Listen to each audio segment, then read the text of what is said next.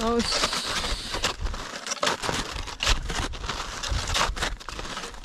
a little tricky for the cam.